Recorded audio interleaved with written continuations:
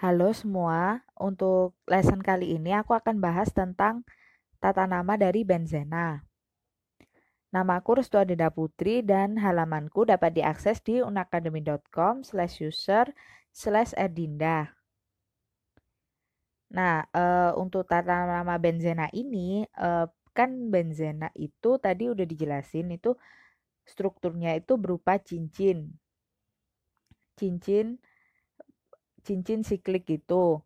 Nah, tata nama benzena ini ada beberapa macam yaitu tata nama benzena monosubstitusi di mana di benzena ini mengikat satu substituen. Jadi satu atom hanya itu tersubstitusi oleh satu gugus. Kemudian tata nama benzena disubstitusi yaitu dia mengikat dua substituen dan tata nama benzena polisubstitusi yang mengikat tiga atau lebih substituen. Nah, yang pertama kita bahas adalah benzena yang monosubstitusi. Untuk aturan tata namanya yaitu pertama, benzena dengan satu substituen alkil diberi nama sebagai turunan benzena.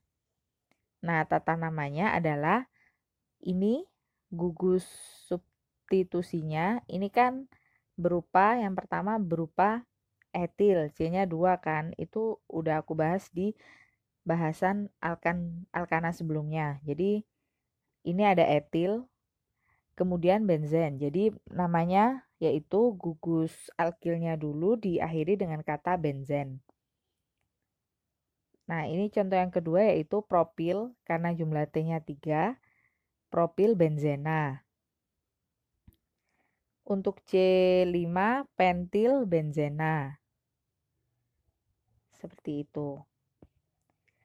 Kemudian untuk sistem nama IUPAC untuk beberapa benzena itu tetap memakai nama umum e, atau nama trivianya. Jadi e, nama trivia itu juga di benzen itu digunakan sebagai sistem nama IUPAC sebagai nama dari benzena yang tersubstitusi. Contohnya ini, ini untuk satu benzena aja kan namanya benzena. Kalau untuk metil benzena, yaitu benzena yang ada gugus met, satu gugus metil, itu nama trivia atau nama umumnya toluena. Tapi di nama IUPAC itu juga toluena juga dipakai. Kemudian untuk benzena dengan is dengan rum dengan gugus CH CH3 dua kali atau gugus ISO itu nama trivian atau nama umumnya itu kumena. Kemudian untuk uh, ada benzena dengan gugus C2H4 dengan ikatan rangkap itu namanya stirena.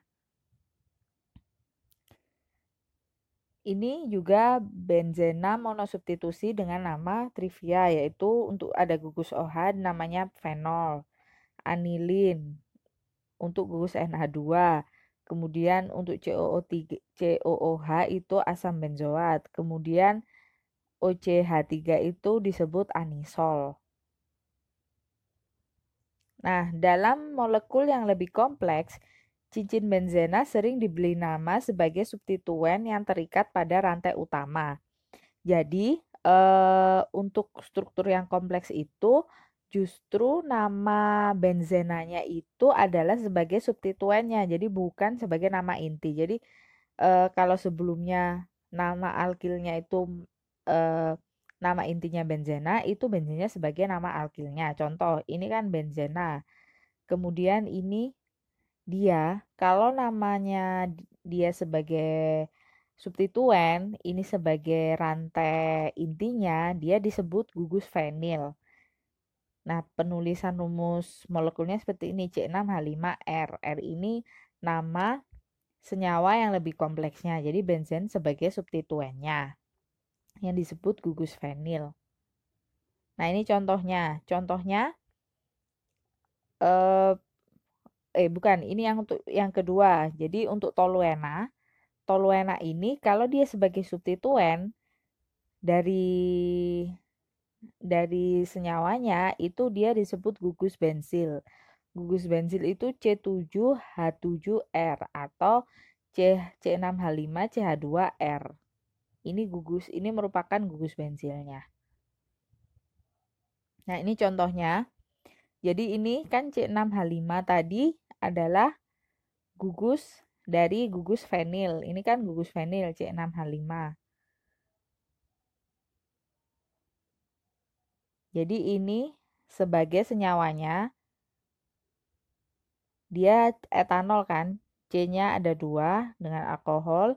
Nah ini gugusnya, substituennya. Jadi disebut 2 fenil etanol karena fenilnya ini ada di C nomor 2 kalau dari hitungannya dari gugus OH-nya. Jadi 1 2. Makanya ini ada di 2 fenil etanol. Kemudian untuk ini ini sebagai substituen yaitu substituen benzil dan ini kloridanya. Jadi ini disebut benzil klorida.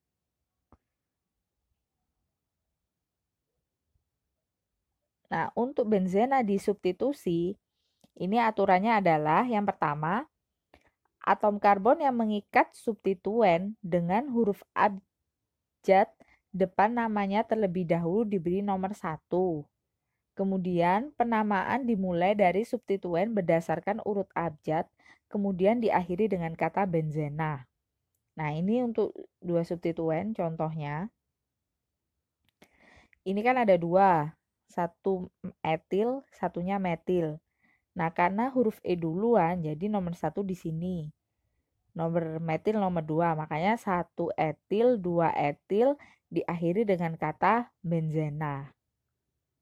Contoh berikutnya, eh, ini ada pentil dan kloro. Karena kloro ini lebih dahulu, jadi penomorannya harus dari sini. Satu, dua, tiga. Satu kloro, 2 pentil benzena. Nah, uh, untuk ada aturan lain di benzena disubstitusi, yaitu jika salah satu di antara dua substituen yang terikat pada cincin benzen ini memberi nama khusus, seperti contohnya toluena atau anilina, maka akhiran nama bukan benzena, tapi nama khusus tersebut. Kemudian, substituen yang memberikan nama khusus menempati posisi nomor satu. Dan aturan nama bisa menggunakan kata orto, meta, atau para dengan ketentuan sebagai berikut. Untuk orto itu substituen itu diikat pada nomor atom karbon 1 dan 2. Jadi substituennya ini tidak ada tidak ada jeda.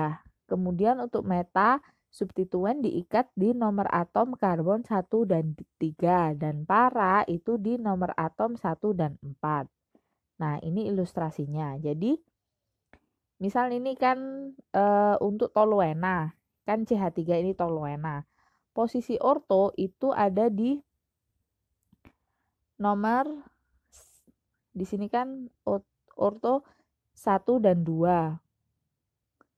Jadi ini kan toluenanya nomor satu. Nah, posisi orto itu bisa di sebelah sini. Ini kan saat berarti penomorannya dari ke arah searah jarum jam satu dua atau bisa juga dia di sebelah sini. Di sebelah situ berarti nanti penomorannya berlawan jarum jam. Jadi nomor satu, nomor dua. Kemudian untuk meta, ini kan nomor satu. Tadi kan penjelasannya untuk meta adalah karbon nomor 1 dan 3. Jadi untuk ini nomor 1 berarti posisi substituen yang kedua itu bisa di posisi sebelah sini atau sebelah sini. Ada dua kemungkinan. Nah sedangkan untuk para itu hanya satu karena dia di nomor 1 dan 4. Jadi untuk para itu di sini dan di sini. Jadi cuma ada satu satu kemungkinan untuk parah. Nah, ini contohnya. Contohnya eh, di ini ini kan bromotoluena. Nah, posisinya apa? Posisinya kan ini nomor satu, nomor dua, nomor tiga, nomor empat. Jadi kan bromonya ada di nomor empat. Empat bromotoluena atau para bromo bisa disingkat P, para bromotoluena. Kemudian ini kloroanilina. Ke nomor 1, nomor 2, nomor 3.